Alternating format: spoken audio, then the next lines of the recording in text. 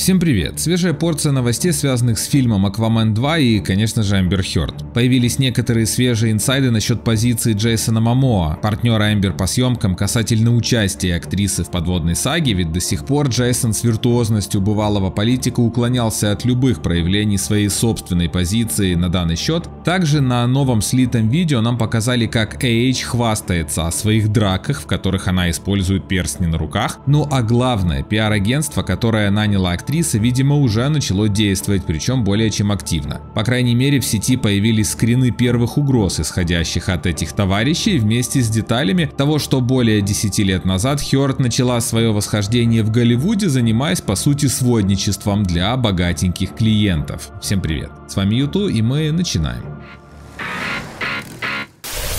Ну а начнем мы, пожалуй, все-таки с фильма «Аквамен 2» и непосредственно Джейсона Мамо. Как все вы уверен уже знаете, премьеру «Затерянного королевства» вновь отложили и, конечно же, многих интересует вопрос, связано ли это с заменой Эмбер Хёрд. Ведь помимо всего того негатива, что сейчас имеет место быть вокруг актрисы, еще и не стоит забывать слова босса в студии ВБ, например, Уолтера Хамады, который говорил, что между Хёрд и ее партнером по съемкам Джейсоном Мамо просто не было химии. А что же сам Джейсон Мамо? Ведь актер на протяжении протяжении всех тех лет, что идет кутерьма вокруг Амбера и Аквамена, никак не проявлял своей позиции. А, например, после окончания суда он лайкал диаметрально противоположные посты в Инстаграм обеих сторон. Но теперь актеру наконец-то задали вопрос, от которого он не мог отвертеться и не мог обойти стороной, как нельзя, кстати, обойти стороной просто супер предложение от образовательной платформы Skillbox. Вашему вниманию предлагается курс профессия коммерческий иллюстратор. Это тот редкий случай, когда можно совместить свое увлечение и прибыльную профессию. На курсе, который длится аж 16 месяцев, вы научитесь профессионально создавать коммерческие иллюстрации, персонажи и анимацию, узнаете, как продвигать личный бренд, сделаете портфолио и начнете зарабатывать, ведь Skillbox гарантирует трудоустройство по завершению обучения или вернет деньги. Вас ждет обучение на реальных задачах, онлайн-лекции и практические задания. А еще приятные бонусы, дополнительный курс дизайнер на фрилансе в Digital и год английского в подарок. Плюс можно начать платить только через полгода то есть учись сейчас, плати потом. А спустя 4 месяца вы уже сможете брать первые заказы и платить за курс с них. Неплохие перспективы. Подробная программа обучения и регистрация на курс по ссылке в описании, а также специально для вас скидка на курс 40%. Плюс 5% дополнительно по промокоду YouTube. Ну а мы к видео. Итак, недавно на премьере третьего сезона сериала «Видеть» Джейсону Мамо задали конкретный вопрос по поводу фильма «Аквамен 2» и лично Эмбер Хёрд. Когда его спросили, вся шумиха весь шум, все разговоры вокруг Аквамена 2, чего нам ожидать? Ты говорил с Эмбер, как ее дела? Мамо, оказалось бы, не мог уже здесь отвертеться, но это лишь казалось, потому что в итоге Джейсон и тут начал заплетать какое-то многословие, которое нет смысла даже и цитировать, но ни слова так и не сказал про Эмбер. Правда, многие восприняли такое молчание актера и нежелание говорить о Хёрд даже сейчас, как намек на то, что дела у нее все хуже, и в плане отношений с боссами DC, от чего Мамо который мог бы хоть как-то обтекаемо и нейтрально отозваться о своей коллеге, решил вообще смолчать. Плюс часть издания опубликовали информацию, что у актера все-таки серьезно ухудшились личные отношения с AH, и сейчас он больше не горит желанием иметь с ней дело. Опять-таки, источник информации при этом, правда, не называется, но кое-что в самом деле подтверждает такие инсайды, ведь недавно, когда Мамоа спросили, сколько он еще собирается сниматься в роли Аквамена, актер сказал что-то вроде «как можно дольше». Когда же журналист журналисты попытались завести речь о перспективах исполнительницы роли Меры, Джейсон просто слился и вообще проигнорировал даже сами вопросы подобного толку. В общем, как видите, перспективы у Хёрд очевидно все более и более туманные, а тут еще и всплыл очередной некрасящий ее старый видос, еще видимо со времен ее бытности вместе с Джонни Деппом, в котором актриса хвастается тем, как она наносит удары кулаками с перстнями для большего, так сказать, ущерба. Шутка это не шутка, или Хёрд действительно любила демонстрировать контролировать то, как она распускает руки, это уже неизвестно, да и не так важно. Ведь главная суть в том, что каждое такое новое открытие добавляет все новую и новую порцию негатива в и так уже уничтоженный имидж актрисы. Тем более, что касается имиджа, у нас тут всплыло еще одно крайне показательное обновление. Дело в том, что некоторое время назад СМИ писали, что Эмбер наняла пиар-агентство для того, чтобы защищать свои интересы на публике, а также по возможности дискредитировать своих оппонентов. И вот уже первые, так сказать, сказать, плоды работы этих товарищей. Заключаются они в угрозах семье и лично самой журналистке, которая первая опубликовала информацию о развратных вечеринках, что устраивала Эмбер Хёрд. Эта инфа появилась примерно полтора месяца назад, что AH устраивала пати, больше похожие на оргии и так далее и тому подобное. Напомню, что в начале августа американская журналистка Джессика Рид Краус опубликовала интервью расследования, посвященное карьере Эмбер Хёрд. Краус рассказала об организации актрисой